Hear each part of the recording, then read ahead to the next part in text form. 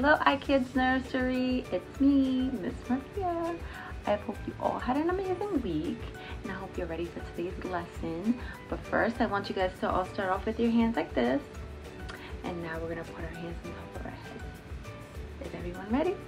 Okay, it with me. I am the head and not the tail. I am above and not beneath. I am blessed coming in and I am blessed coming out and everything I put my hands to do will prosper. Good job, friends. You know what God made? Let's take a guess. Anyone tell me what this is? God made love. Good job, friends. And what does that mean? Hmm. To me, that means God loves us so we can love others. What do you all think? Amazing. And what are things that you all love? I know what I love most. God and my family and my church. This is my family. Can anyone tell me how many people are in my family?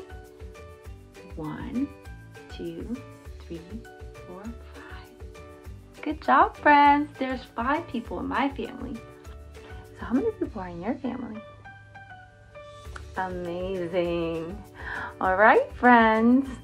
There are so many things to be grateful for, and love is such an important one. Because like I said earlier, God loves us so that we can love others. So I want today for you to always remember that.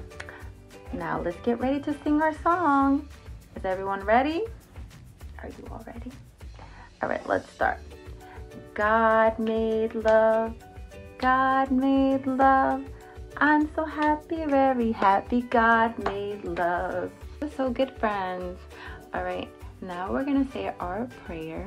So we're all gonna close our eyes, put our hands together, and say, Dear God, thank you for loving us, and thank you for showing us love. Thank you for loving us so that we can love others. And we appreciate you so much and we love you so much. In Jesus' name we pray. Amen. All right, my friends, I hope you all have an amazing week. Bye bye. See you next Sunday.